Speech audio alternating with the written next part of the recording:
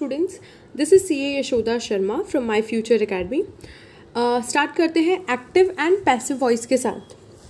Active and passive voice basically जो revolve करता है, वो दो चीज़ों के अराउंड रिवॉल्व करता है that is subject and object हमने देखा होगा कि एक्टिव वॉइस वॉइस के लिए जनरली बोला जाता है एक्टिव वॉइस में जो सब्जेक्ट होता है, वो पहले आता है, जो ऑब्जेक्ट होता है, वो बाद में आता है.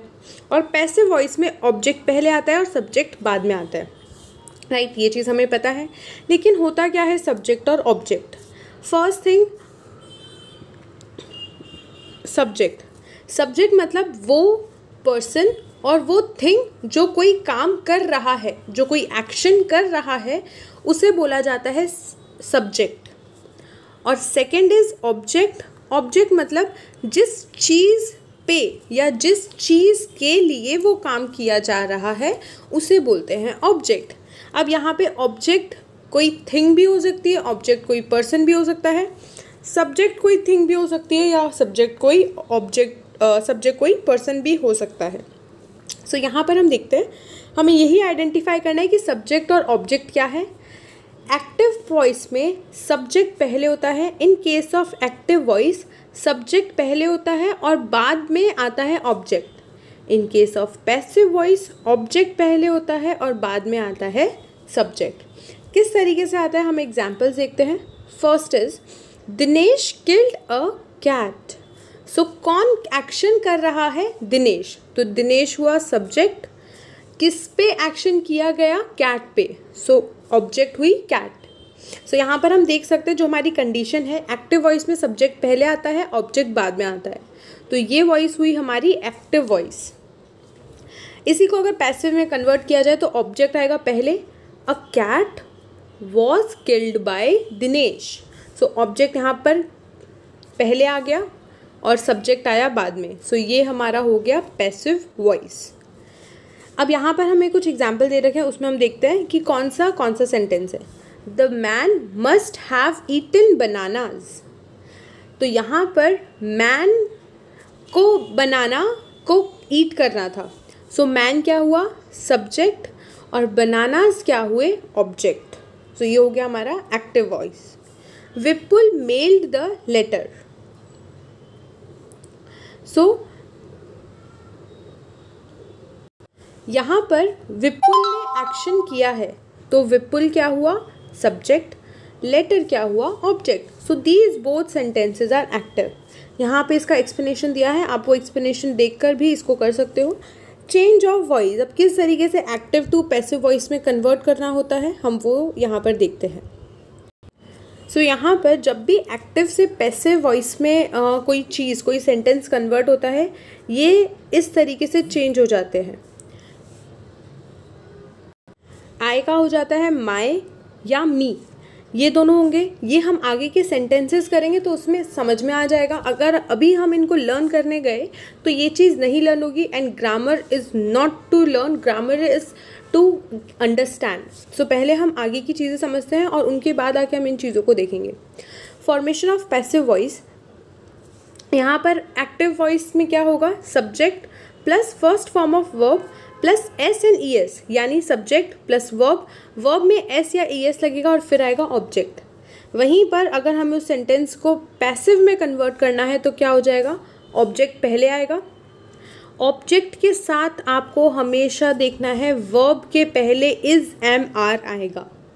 ऑब्जेक्ट के बाद में आएगा इज़, एम, आर, अगर वो प्रेजेंट है। So object, is, am, are, third form of verb, plus by, plus subject. So so, यहाँ पर अगर हम बेसिक चीज़ देखें तो हमेशा क्या होगा? हमारा verb third form of verb में कन्वर्ट होगा। दो वो प्रेजेंट टेंस में है उसके बावजूद भी हमारा हमेशा verb third form of verb में कन्वर्ट होगा in case of passive voice passive voice में वर्ब हमेशा थर्ड फॉर्म में रहता है। साथ में वहाँ पर बाय लग जाता है। एग्ज़ाम्पल देखते हैं हम प्रेजेंट का। ही राइट्स अ लेटर तो यहाँ पर बिना उसको देखें अ लेटर पहले आ गया इज़ रिटर्न तो राइट का किसमें कन्वर्ट हो गया? Third form of write written फिर हम देख सकते हैं बाय आया, जैसा हमने रूल में देखा था बाय और ही का हो गया हिम सो हिम यहाँ पर लगाना, हमें लर्न नहीं करना, अगर हम इतना फॉर्म कर लेंगे a word a letter is written by he नहीं आएगा a letter is written by him so ये हो गया in case of present tense in case of present continuous tense. यहाँ पर अब छोटी सी चीज़ हो जाएगी आपको पता है कंटिन्यूस टेंस में आई आ जाता है। सो so, यहाँ पर क्या होगा? हमारा सब्जेक्ट है इज़ एम आर क्योंकि I am doing this they are doing this she is doing this so हमेशा कंटिन्यूस जब प्रेजेंट कंटिन्यूस होता है तो उसके एक्टिव में इज़ एम आर आता है। First form of verb plus object अब यहाँ पर क्या होगा? पहले ऑब्जेक्ट आएगा इज़ एम आर का इज़ एम आर यहाँ पर रहेगा। कंटिन्यूस टेंस हमेशा पैसिव में बीइंग आता है क्योंकि वर्ब का कौन सा फॉर्म लगना है? थर्ड फॉर्म यहाँ पर थर्ड फॉर्म ऑफ़ वर्ब लगेगा और कंटिन्यूस में यहाँ पर आ जाएगा बीइंग इसका लॉजिक क्या है? क्यों यहाँ पर बीइंग आएगा? क्योंकि एक्टिव वॉइस में यहाँ पर आईएनजी है राइट right? तो अब कंटिन्यूस है तो आईएनजी पूरे सेंटेंस में कहीं तो होना ही चाहिए। सो so, ये बींग आई की जगह पे आ जाएगा और जो हमारा वर्ब है वो थर्ड वर्ब में कन्वर्ट हो जाएगा। एक एग्ज़ाम्पल देखते हैं हमें इसको और अच्छे से समझ पाएँगे। First my friend is cooking the food यहाँ पर माई फ्रेंड हो गया सब्जेक्ट इज़ ये हो गया is cooking so first form of verb plus I N G तो cook plus I N G is cooking the food अब हमें इसको कन्वर्ट करना है तो फ़र्स्ट क्या आएगा? द फ़ूड इज़ बींग क्योंकि हम कंटिन्यूस प्रेजेंट टेंस को कन्वर्ट कर रहे हैं, इसीलिए कुकिंग का हो जाएगा कुकड और उससे पहले लग जाएगा बींग बाय माई फ्रेंड ये हो गया हमारा present continuous present perfect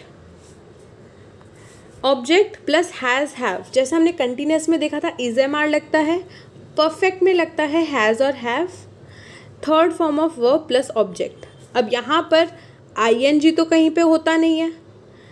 continuous में आई एन जी था, उसको हमने किसमें कन्वर्ट कर दिया था? बींग में. अब यहाँ पर हमें क्या करना रहेगा? हम, क्योंकि यहाँ पे ऑलरेडी थर्ड है, कहीं आई एन जी नहीं है तो यहाँ पे लगता है been in case of perfect present tense हमेशा हम लगाते हैं वर्ब से पहले बीन आपको कैसे समझ में आएगा कि ये प्रेजेंट परफेक्ट है तो आप सेंटेंसेस में देखोगे हैज़ और हैव अगर एक सेंटेंस में हैज़ और हैव है, यानी वो सेंटेंस प्रेजेंट परफेक्ट है, और उसको अगर हम पैसे वॉइस में कन्वर्ट करेंगे तो उस सेंटेंस में लगेगा been for example she has जैसा हमें यहाँ पे दिख रहा है she has she has taken a cup of tea तो सेंटेंस क्या हो जाएगा?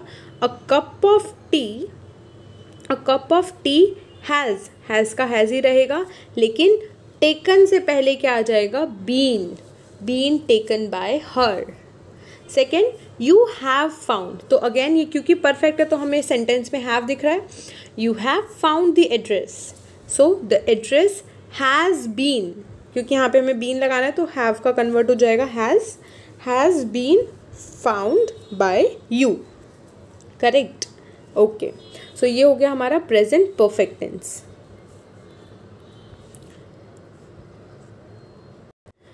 coming to next is past tense past tense का भी जो एक्टिव है, वो हमारा ये है सब्जेक्ट अब क्योंकि पास्ट है तो यहाँ पे हमें देखो फ़र्स्ट वर्ब नहीं दिख रहा एक्टिव में. हमें यहाँ पे सेकेंड वर्ब दिख रहा है.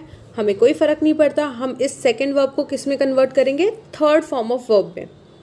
बाय का बाय ही आएगा, हमने प्रेजेंट में भी देखा था बाय आता है और subject Reena employed three hundred man three hundred man were employed यहाँ पर वॉज़ और वर आ जाएगा। जैसे हमने प्रेजेंट टेंस में देखा था इज़ एम आर आता है पास्ट टेंस में वॉज़ और वर आएगा।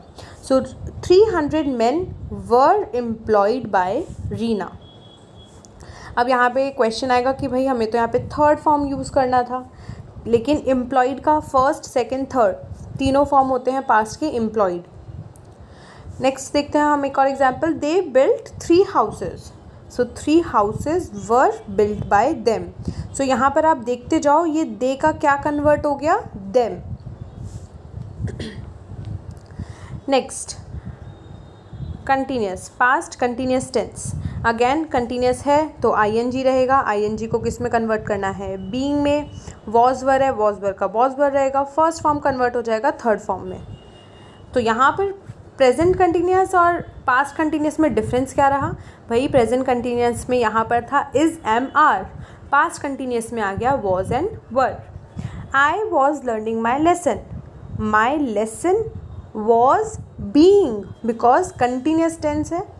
वॉज़ बींग लर्निंग की जगह पे क्या आ जाएगा? Learn my lesson was being learn by me यहाँ पर आएगा मी आपको इन चीज़ों का बहुत ध्यान रखना है। ये चीज़ प्रैक्टिस से ही समझ में आएगी। आई का कन्वर्ट हो गया मी जैसा कि मैंने इनिशियल में बताया था, अगर आपको ये अभी कन्वर्जन नहीं है तो आप ये टेबल को भी गो थ्रू कर सकते हो। आई का कन्वर्ट हो जाता है मी दे का कन्वर्ट होता है देम दे का अगर पॉजेसिव केस है तो वहाँ पर कन्वर्ट होगा देर सो इस तरीके से आपको ये सारे पैसिव में कन्वर्जन करना रहेगा.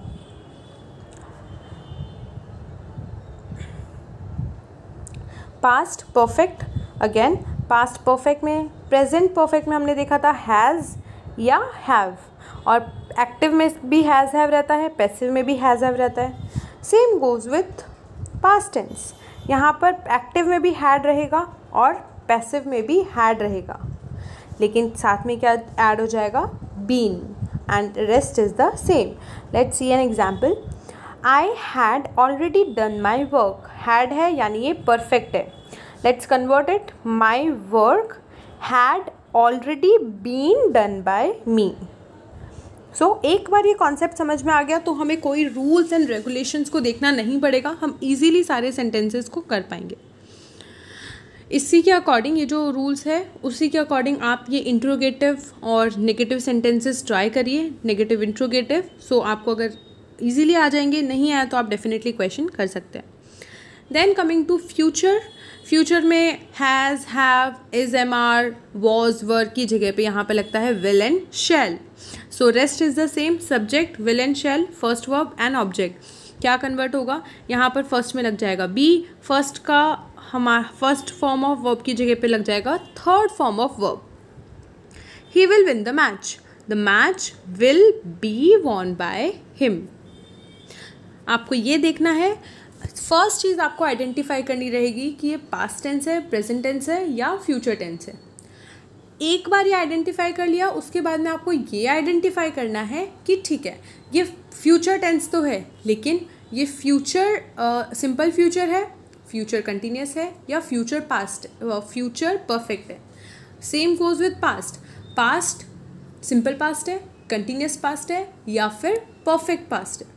और वो आप इजीली समझ पाएँगे, क्योंकि हमने देखा पास्ट जो सिंपल पास्ट टेंस होता है, उसके अंदर क्या होता है वॉज़ एंड वर जो कंटिन्यूस होता है, उसके अंदर आईएनजी हमें दिख जाएगा, और जो परफेक्ट होता है, उसके अंदर हमें हैड दिखेगा. और इससे आप इजीली समझ पाएँगे अगर जो सिंपल है उसके पैसिव में आएगा बी अगर आ, अगर सिंपल है तो बी आएगा कंटिन्यूस है तो बीइंग आएगा और परफेक्ट है तो आ जाएगा been right so let's go to future tense so यहाँ पर भी यही है इसका example he will win the match the match will be won by him I shall teach you you will be taught by me I का convert हो गया यहाँ पर me future perfect subject plus shall have will have यहाँ पर आपको ये देखना है फ्यूचर परफेक्ट के साथ में क्या लगता है? Will have example they will they will have planted a tree. A tree will have been. Because perfect है तो बीन तो आपको लगाना ही है. They a tree will have been planted by them so यहाँ पर हो गए हमारे सारे tenses of active and passive किस तरीके से एक्टिव पैसिव में कन्वर्ट किया जाता है? सारे आप एग्जाम्पल्स देखिए, अपने बुक्स के एक्सरसाइज को सॉल्व करिए. जो आपको एक चीज़ देखनी है, वो ये है कि यहाँ पर इसमें, इस चीज़ में मिस्टेक नहीं होनी चाहिए। सो इस चीज़ को आप क्लियर करोगे और जितना ज़्यादा आप प्रैक्टिस करोगे, उतनी ज़्यादा ये आपके active and passive voice clear हो जाएँगे।